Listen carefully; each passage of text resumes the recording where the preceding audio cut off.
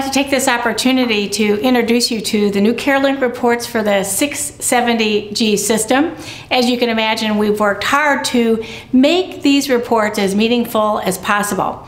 There's essentially three new reports, and let me show you which I think is the place to start. So this is an overview of all the glycemia as well as a fair amount of statistics. And what's unique about this report is you have the opportunity to compare two time periods. So perhaps when you're starting somebody first on 670G, you might want to compare them to when they were in open loop. But as they've been on the system longer, perhaps you want to compare them to the last time you saw them in clinic.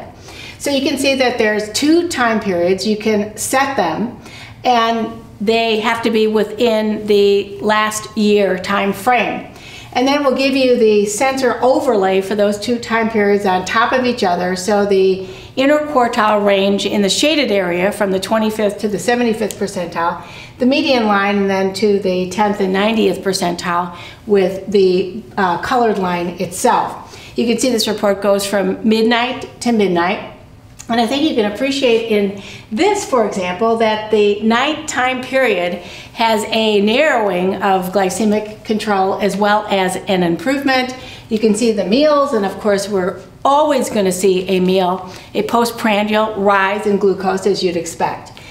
Then, in addition, you can look at the carb ratios that you had set for those two time periods. And the reason we're emphasizing the carb ratios is that these are what you are essentially responsible for. So you can see that if you made a change, what did that lead to as far as the meals themselves were concerned? Then in this middle area, we call out the hypoglycemic patterns as well as the hyperglycemic patterns. And then for this, we're really emphasizing only the time period that you're looking at in the present. Then one of my favorite new areas is these two bars that actually essentially compare the time in target above and below for these two time periods.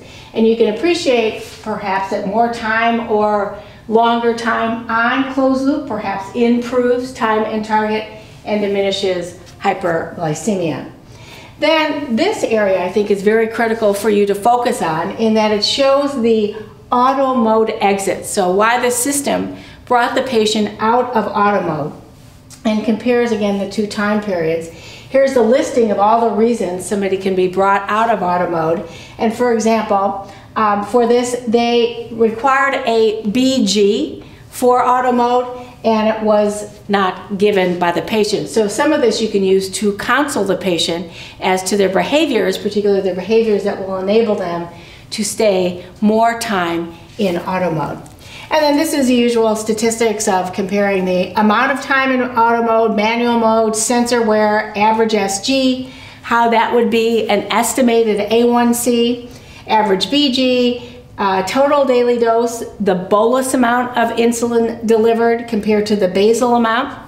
And I think we have appreciated that in auto mode, there is a decreasing amount of basal insulin delivered and an increasing amount of bolus, so you can check for that here.